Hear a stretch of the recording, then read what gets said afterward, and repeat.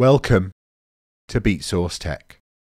My name is Mojaxx, and today I am very, very happy.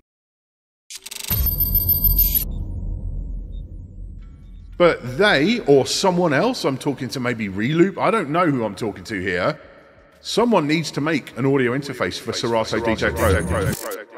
I'm not taking credit for the existence of this product. I may have played a part with that video back in 2022, but the real reason this happened was actually the fact that over 60,000 of you watched it and almost a thousand of you took the time to comment. That is powerful, real world feedback from DJs, and I know that helped inspire Reloop to create the Flux. I'm not going to relitigate all the reasons why I think a separate audio interface for Serato is so important here. You can watch the original video if you didn't already. But getting the Flux into my hands and exploring the possibilities it offers absolutely confirms my thinking using a fancy analog rotary mixer at home and want to use Serato DJ Pro DVS, the Flux has you covered. And the same goes for those classic battle mixers that you might have sat on the shelf. And of course, the Flux will come in clutch for those gigs where the in-house mixer doesn't support Serato DJ Pro and it's not practical to swap it out for one with a built-in interface. The thing is with the Flux though is that Reloop didn't just throw together a simple two stereo channel interface and call it a day. No, they decided to go much, much further.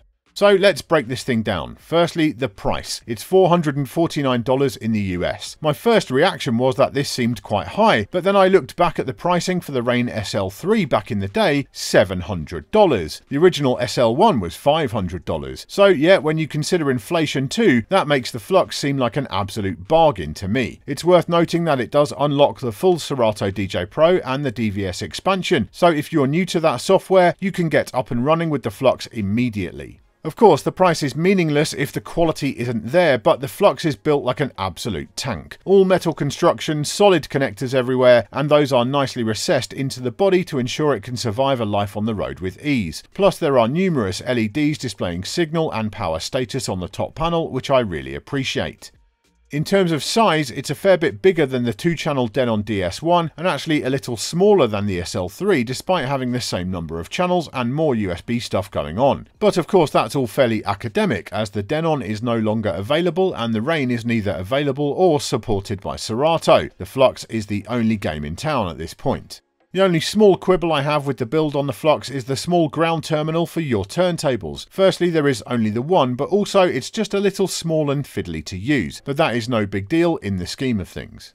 Let's talk sound next, as that's equally as important as the build. The Flux supports 24-bit audio with a sampling rate of up to 96 kHz. When you use it with Serato DJ Pro, it defaults to 48 kHz, as is standard with that software. And the sound is great, very clean and precise with no obvious coloration, and latency can be set very low too if your computer can handle it.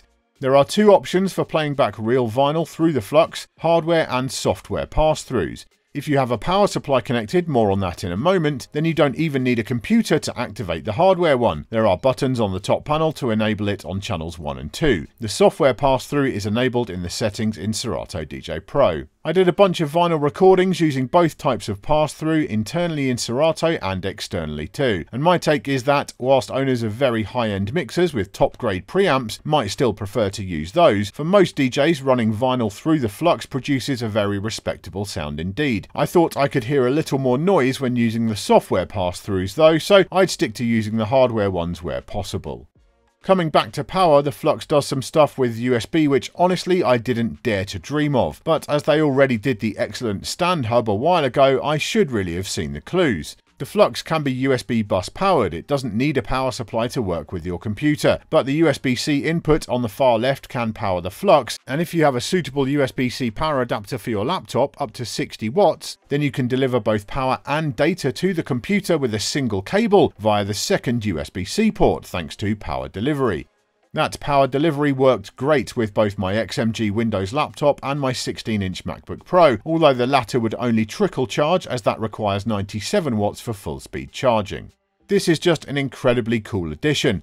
One thing I'd kind of forgotten about when using a separate interface for DJ software is just how many cables can be involved. It's a lot. But with the Flux, you can have that rat's nest of cables all tucked away behind your gear and have just a single USB-C cable going to your laptop, a very clean look. If you don't have a laptop with USB-C or power delivery, there is a USB-A to C cable included with the Flux, so you don't need to buy any cables to get it working. But Reloop aren't finished with USB there. There's also a two-port USB hub with USB-A sockets for connecting other peripherals, everything from external hard drives to MIDI controllers to CDJs in HID mode. I tried it with CDJ 3000s and Denon SC6000Ms, and Serato Control worked fully with both. In these times when many laptops like the 13-inch MacBook Pro seem to come with the bare minimum of ports, this could be a game changer for many DJs.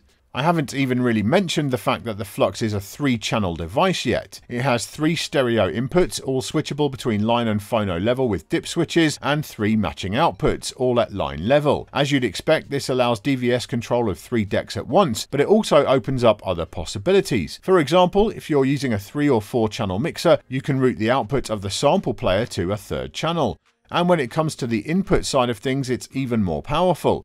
For starters, you can run a spare output from your mixer back in for recording, as you used to be able to do with the SL3. But where Reloop have been especially clever is in working with Serato to ensure that the third input is routed via the software to the new options in the software, so you can enable use laptop speakers and send audio to other applications using that input. That means you can use the Flux as the basis of a streaming setup, just as you would with a supported mixer. Excellent.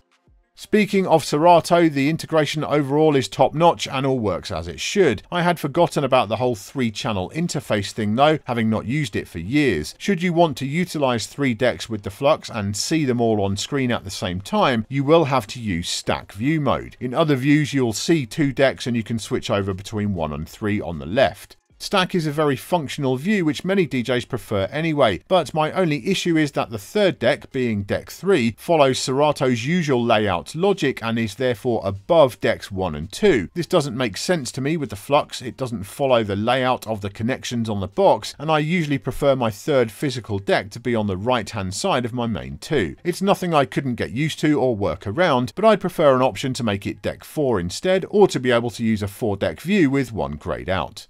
As I'd hoped, the Flux isn't just a Serato interface either. I was delighted to find out that it's core audio compliant, so no driver is needed on Mac, and there's a simple ASIO driver on Windows. This means that, at least on the Mac side of things, there really is no reason why Serato won't be able to support the Flux effectively forever. And it works seamlessly with every other piece of software I tried too, on both Windows and Mac. Rekordbox, Virtual DJ Traktor, and Ableton Live could all address each of the three inputs and outputs, and with more quality options options too. Plus, Reloop didn't mention this to me, but as it's class compliant, I thought I would try the Flux with djay Pro on an iPad Pro, and that worked perfectly too, with all three channels selectable and power delivery pass through. So as long as it has the connections you need, the Flux will work as an audio interface for many different tasks, and so could be an incredibly useful tool for all kinds of users, not just those who want to use Serato DJ Pro. As far as I'm concerned, Reloop really have thought of everything with this one.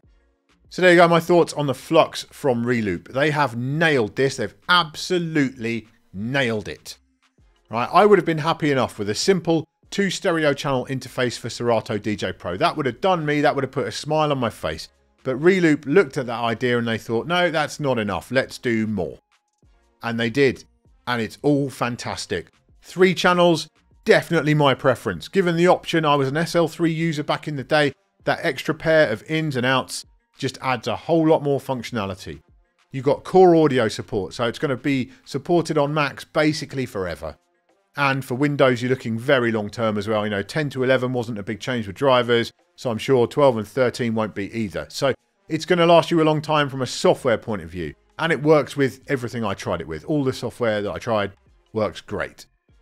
And you've got the sound quality is there. The sound quality is really good. From the interface itself, the phono preamps are decent in there as well, so that's fantastic. And the build quality, it's built like a tank. So physically, it's going to last you for years as well. I honestly don't know what they could have done to make this better. Some people will want a four channel version. Some people would have preferred a cheaper two channel version. But this, for me, absolutely, as I say, they've nailed it. They've absolutely nailed this. I cannot recommend this enough. My only disappointment is this is the only one in the UK right now. It's going back tomorrow, so I will have to buy one. I mean, I said in my video about Serato boxes before that I would buy such a device if it appeared. Now it has, I'm going to buy one. Because I need one in my life. I'm stood in front of a MasterSounds rotary mixer right now that I am reviewing, and I'd love to be able to use that with Serato DJ Pro. That would be a very useful thing in my life. So I will be picking up a Flux 100% this will be part of my DJ setup moving forward. I might not use it all the time because I have a lot of mixers with interfaces, etc. But as something, as part of my toolkit, this is absolutely essential. I'm so glad it exists and I'm so glad that Reloop have done such an awesome job with it. In the comments this week, let us know, are you looking for this? Is this making you as happy as it is me? If you're going to pick one up, what kind of setup are you going to use with it? I'm sure there are lots of weird and wonderful combinations in booths around the world. So yeah, sound off in the comments below. Thank you for watching this episode of Beatsource Tech. I do hope you've enjoyed it or found it useful. If you have, please give the video a thumbs up and make sure you subscribe to the channel so you don't miss any future videos. I'll see you next time.